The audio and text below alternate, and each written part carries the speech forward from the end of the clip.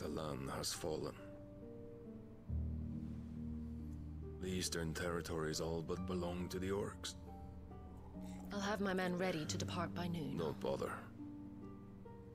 But what of the mines? Without adamantite... The Blight would have engulfed the mines ere long. Besides, you already have your orders.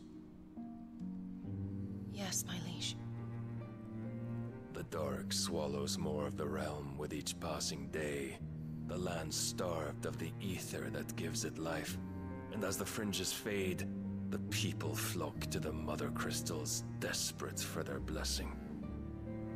The war we wage for possession of that blessing, it breaks us from within, hastening us to our own destruction. And so you do what must be done.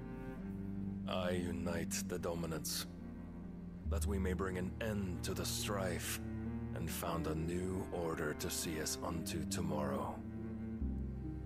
The world must be restored, and I will see it so. You might have already had Cidolfus not betrayed us. Him again. Lust you still for his embrace? But... Of course not.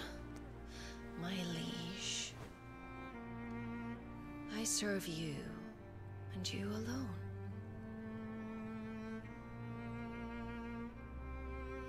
I remember well the day you first entered these halls.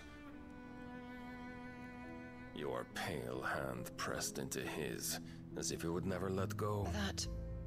that was a long time ago. Yours is the only hand I need. Now and always. Soon, my dear. Soon all will know whose hand it is that keeps them from falling into the darkness. Hold me, my leash. Never let me go.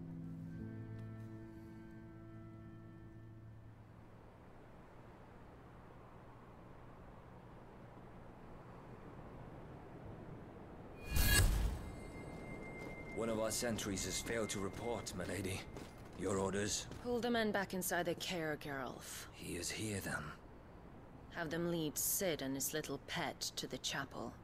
I shall entertain them there.